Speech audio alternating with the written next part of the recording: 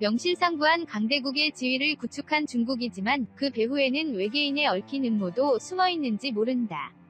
구글 어스가 중국판 51 구역이라고 불러야 할 수수께끼 시설의 모습을 파악하고 있다고 한다.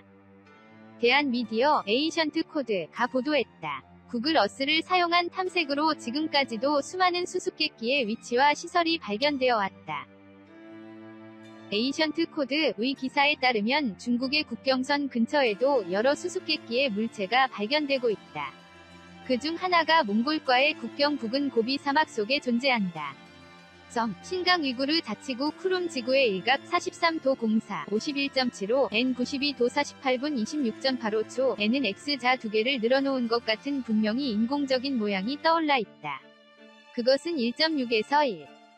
킬로미터 사방으로 매우 거대한 것으로 바로 옆에는 건물도 있어서 누군가가 출입하고 관리하는 위치인 것은 분명하다. 음모론계 유튜브 채널 Third Phase of Moon은 지난 8일에 올린 동영상에 이 시설을 포함한 중국의 수수께끼의 지형을 여러 개 소개하고 있다. 검은 물체가 일정한 간격으로 배열되어 몇 겹의 동그라미를 그리고 있는 stone circle 같은 곳이나 사각형 안에 그물망 모양이 그려져 있는 장소 등 괴상한 장소가 사막에 다수 발견되어 있다. 점, 이러한 시설의 정체에 대해 음모론자들 사이에서는 비밀 연구 시설의 일부라고 생각되고 있다.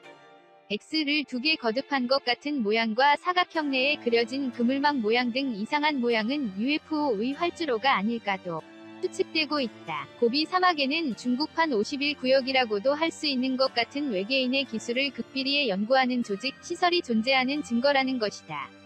이러한 도형의 정체에 대해서는 물론 다른 견해도 존재한다. 구글 어스의 팬블로그, 구글 어스 블로그에서는 이상한 모양은 위성의 측정기기를 교정하기 위한 대상이며 stone circle은 레이더로부터 물건을 숨기기 위한 실험이 아닌가 설명하고 있다. 점. 그러나 Ancient Code는 사막에 그려진 도형은 교정이나 실험용치고는 복잡하고 너무 이상하다고 지적한다.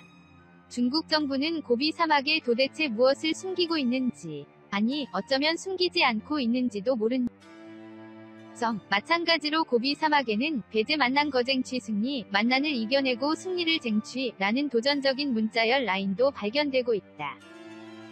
중국에서 발견된 이상한 인공물들은 지금까지 기술을 독점해온 강국을 향한 우리도 같은 것을 손에 넣고 있다고 라고 하는 호소인지도 모른다. 점, 세계의 힘의 균형과 마찬가지로 외계인의 얽힌 음모도 새로운 국면을 맞이하고 있는지도 모른다.